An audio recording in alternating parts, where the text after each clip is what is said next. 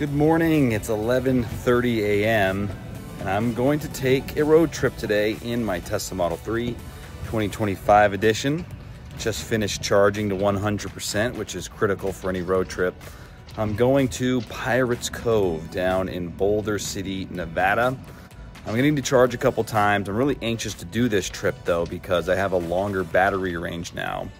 Curious how uh, much of an impact that has just in terms of, of less charging time. And then I also paid for a month of full self-driving. So the first full self-driving Tesla road trip. How easy is it? How much of a difference does it make on a longer trip? Because I've done this trip before, but only on regular autopilot, not full self-driving. So it's gonna be a lot of fun. I'm gonna take you along the way and I'll, at, at the end, I'll give you my review on if it was worth it to pay that $100, is it worth it to pay for it outright, and how much of a difference it made. So let's rock and roll, baby.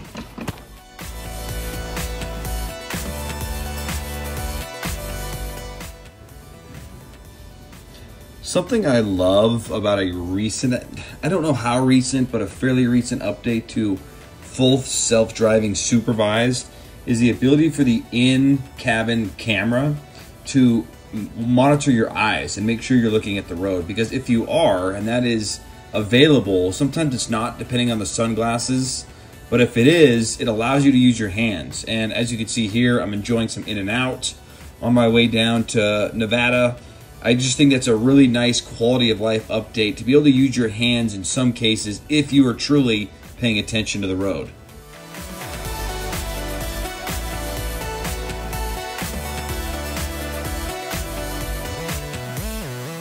I've been on the road for two and a half hours. I'm approaching Beaver, and this is a significant moment for me as a, as a Tesla road tripper.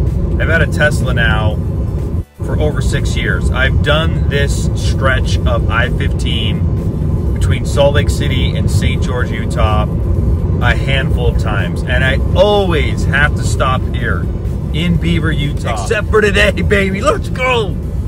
I've got 139 miles of range left in the battery. I am going to breeze right on by Beaver and head down to Cedar City to charge, which it has its pros and cons. When I get to Cedar City, I'll show you what it's like. There's not anywhere to eat. I'm actually kind of worried about going to the bathroom, but it's not going to be as crowded as Beaver.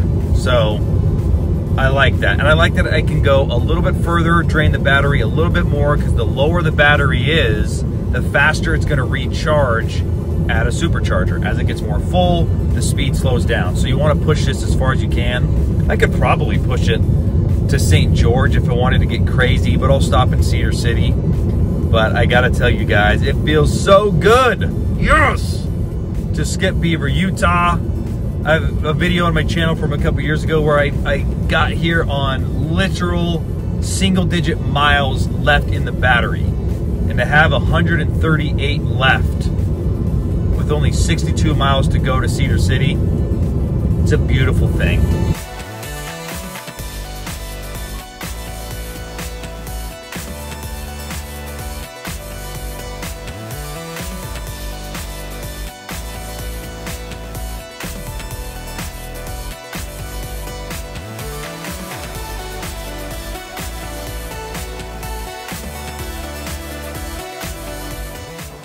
Made it to the Cedar City Supercharger, and it's a, uh, it's at a big Sinclair gas station. So I thought there was nothing here.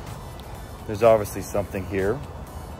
Charging currently be about 20 to 25 minutes. I rolled in with 73 miles to go, so comfortably got here. And I actually really enjoy a Tesla road trip. I like being forced to get out of the car.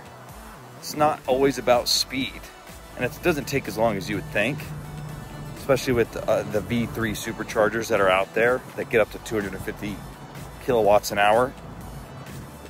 I like walking around. This is Cedar City, Utah. The scenery, there's the gas station. Great scenery. It's just nice to stretch the legs. I'm gonna go to the bathroom and then go back to the car, maybe read some emails, send some texts, and be on my way to Las Vegas. So this extra range, I gotta tell you, it's making a much bigger difference than I thought, not having to stop in Beaver, but being able to come right here to Cedar City and then I, I don't have to stop at St. George or Mesquite, go right to Vegas and charge again. I'm loving it. I'm having a great time. It's been, it's been fantastic. We've got six minutes to go. I've actually come to uh, enjoy these, as I was saying. Um, I'm just hanging out, surfing some emails. Went to the bathroom. I'm up to 189 miles. So I've already added 116 miles. Once I'm done, we'll figure out exactly how much it cost. But it's not bad. Like, I, I feel like there's this negative connotation with Tesla road trips and being at a supercharger. And yet it can get bad. If you have to wait to charge, that's not ideal. That's additional time. But there's so many chargers these days. Just since I've owned a Tesla in these six years, two or three X the number of supercharging stations there used to be even three years ago. A lot of options. It spreads out the volume and it's really not that big of a deal. I, I actually kind of prefer it at this stage of, uh, of my life. Just a little slower, but it's enjoyable. And uh, it, it takes a little bit of the edge off the road trip. There's not this constant rush. We've got five minutes to go. I'll, I'll make these five minutes productive and we'll get back on the road.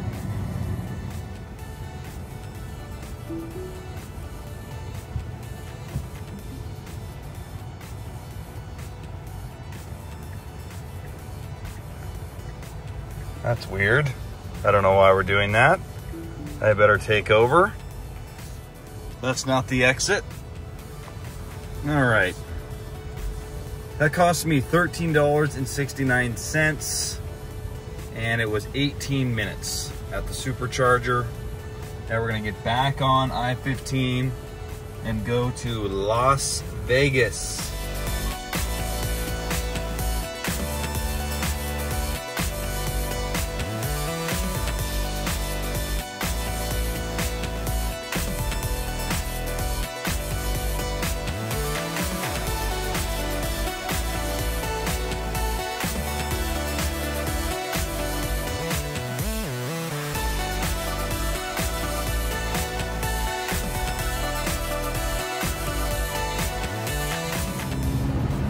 I made it to Vegas.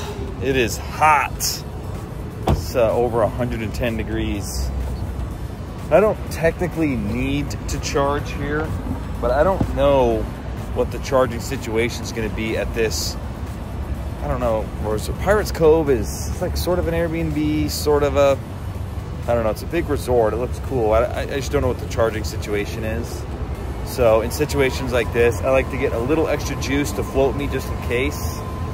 So I'll probably charge here for 10 minutes, get to like 50% charge, and then head on down. And also, I'm at the North Vegas Premium Outlets. I want to see if there's any irresistible deals and maybe get a Shake and Shake Shack or something. So charge for a little bit, and then uh, the final destination is right around the corner.